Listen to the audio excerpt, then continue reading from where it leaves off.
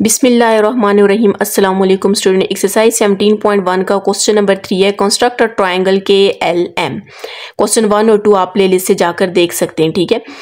K L measurement of K L equals to four point eight centimetre measurement of angle K equals to forty five degree and measurement of angle M equals to sixty degree सबसे पहले line segment हमने draw करनी है. Triangle draw करने के लिए आपको एक लाइन सेगमेंट चाहिए होगी, ठीक है?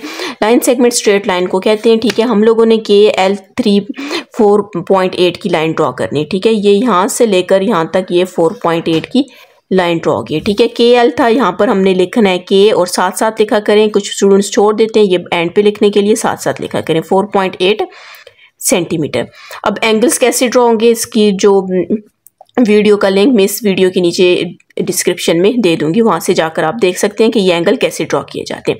अब दोनों के ऊपर एंगल ड्रॉ करना है तो आपने क्या करना है? दोनों पॉइंट्स के ऊपर, दोनों के और एल दोनों के ऊपर आपने क्या ड्रॉ करना है?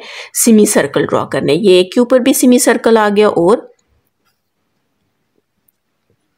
दूसरे के ऊपर भी सिमी सर्कल ड्रॉ के ठीक है? सेमी सर्कल ड्रॉ करने के बाद कंपस को ओपन क्लोज नहीं करना, ये फ़र्स्ट आर सिक्सटी की और सेकेंड आर्क वन ट्वेंटी की। फ़र्स्ट आर सिक्सटी की और ये सेकेंड आर्क 120 की, ठीक है? हमने टू आर्स ड्रॉ कर दिए। अच्छा अब के के ऊपर कितने के? 45 का के के ऊपर 45 का ड्रा होगा। अब 45 का आपने देखना है ज़ीरो और 90 तो सबसे पहले आपने 90 का 90 का एंगल चाहिए। अब आपको आ जाना चाहिए। 90 के एंगल इन दोनों आर्स के ऊपर रख के ड्रा होगा। और ये आर्स कौन सी हैं? 60 और 120 की आर्स हैं, ठीक है? अब क्वेश्चन में 90 के एंगल को आप नहीं चाहिए था। आपने इसको किससे शो करना है? डॉटेड लाइन से शो करना है, ठीक है? अब आपके पास 45 का ज़ीरो नाइन्टी है ज़ीरो ये है और 90 का भी हमने ड्रॉ किया है तो इसके ऊपर भी रख के आर्क लगा दें और इसके ऊपर भी रख के आर्क लगा दें और इसको आपने क्या कर देना है ज्वाइन कर देना है, ठीक है? इसको हम यहाँ से क्या करते हैं ज्वाइन कर देते हैं। तो ये आपके पास 45 का एंगल ड्रॉ हो गया। एम के ऊपर सिक्सटी के ठीक है? अच्छा अब यहाँ पर आप देखें के एल तो हमने ड्रॉ कर चुके हैं।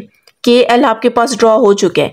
के के ऊपर भी एंगल ड्रॉ हो चुका है, लेकिन एम तो यहाँ पर नीचे है ही नहीं है तो इस वजह से हमने क्या करना है, यहाँ से एल के ऊपर एंगल को मैयर करना है, ठीक है? ये हम लोग मैयर कैसे करेंगे?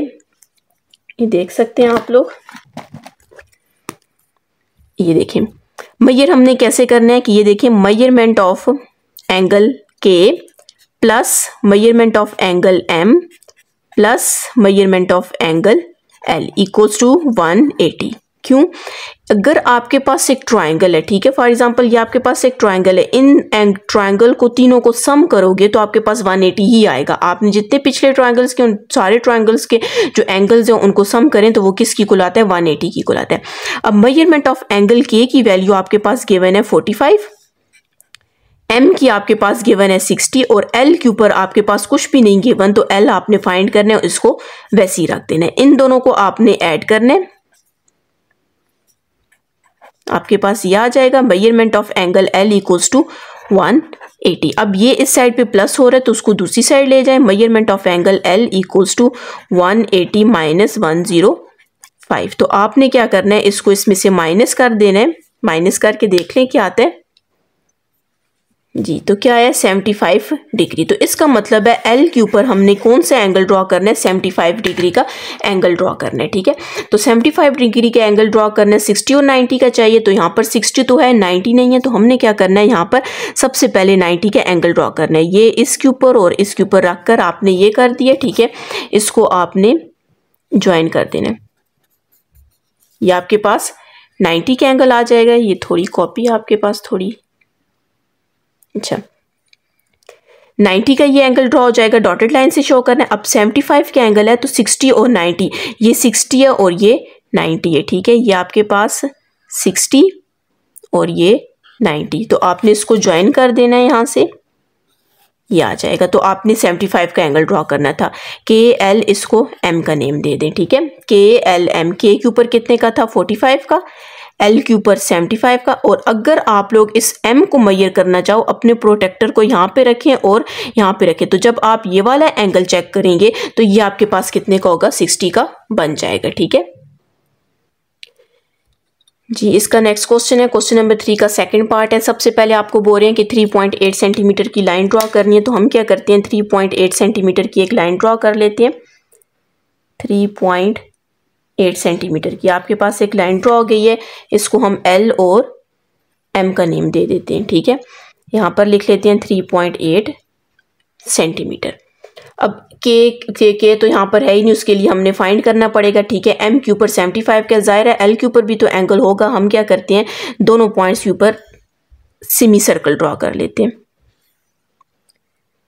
सिमी सर्कल ड्रॉ करने के बाद आपने आर्स ड्रॉ करनी। ये ज़रा सा भी आपके पास अगर कंपस हिल जाए तो आपके पास एंगल में थोड़ी सी मिस्टेक आ जाएगी। अगर आपने 45 का ड्रॉ करना है तो वो 43, 44 का या 40 का भी बन जाता है कभी कभार एम के ऊपर 75 का एंगल है तो एम के ऊपर क्या है 60 और 90 90 का एंगल ड्रॉ करने के लिए 60 और 120 के ऊपर होगा। तो सबसे पहले हम क्या करते हैं? 90 का एंगल ड्रॉ कर लेते हैं।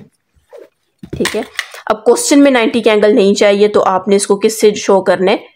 डॉट लाइन से शो करना है, ठीक है? ये डॉटेड लाइन से मैंने इसको शो कर दिया। अब 75 के एंगल 60 और 90 ये 60 है और ये 90 है। इसके ऊपर आपने रखा, ये 60 के ऊपर और ये 90 के ऊपर। इसके ऊपर रख किया तो आपने इसको ज्वाइन कर देना ठीक है? ये तो आपके पास बन गया 45 के एंगल। लेकिन हमें अब के के ऊपर 30 के है, लेकिन यहाँ पर एल है तो हमने क्या करना है, उसके लिए फाइंड करना है। तो आप कैसे फाइंड करेंगे? Measurement of angle x plus measurement of angle y plus measurement of angle Z equals to one eighty X के ऊपर कितने के? एक्स है ही नहीं है, बल्कि इसमें कौन सा है?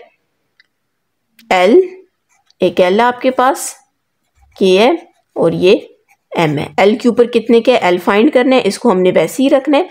प्लस k के ऊपर थर्टी के प्लस एम के ऊपर कितने के? सेवेंटी फाइव का equals to one eighty.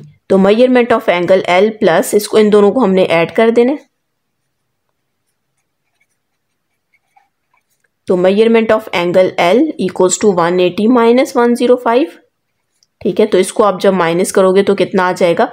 Seventy five आ जाएगा। इसका मतलब है एल के ऊपर भी आपने दोनों के ऊपर, इसके ऊपर भी सेवेंटी फाइव का ड्रा हुआ है तो आपने एल के ऊपर भी सेवेंटी फाइव का ही ड्रा करना है। तो सेवेंटी फाइव का भी इसी तरह ड्रा होगा। सबसे पहले आपने नाइन्टी का एंगल ड्रा करना है, ठीक है?